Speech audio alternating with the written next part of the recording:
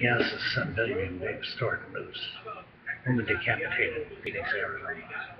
Her dog's decapitated. Her husband decapitated, not decapitated, chopped up, lost his left, his right arm, part of his left leg. To, uh, where he's bleeding badly because he's lost his right eye there. It's his right eye. Couldn't find his right eye. Same time. Who knows? So just when the doctor, somebody must just in there and chopped hell out of him. Is this some kind of terrorist thing or some wolf thing? Who knows? Who knows? You just don't know. You don't know. Could this be a lone wolf hit? A lone wolf hit?